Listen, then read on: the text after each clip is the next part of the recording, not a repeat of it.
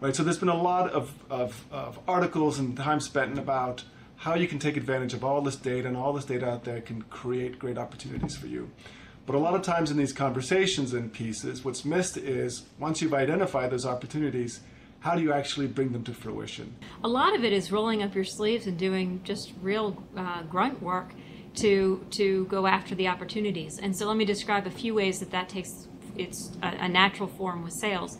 At the highest level, sometimes for B2B companies, it's a real aha moment to realize just on sheer numbers that their sales force is misallocated towards growth. In other words, they are really um, uh, not not covering, f- flat out just not covering the growth, the biggest growth opportunities or a sizable micro market. Um, and so one at one level, it's simply about numbers, how you allocate the right numbers of people. But there are multiple levels of nuance that go beyond that too. And we've seen, um, I've seen a company that said, you know, there are certain kinds of salespeople or certain um, sales descri- job descriptions that we want for different micro markets.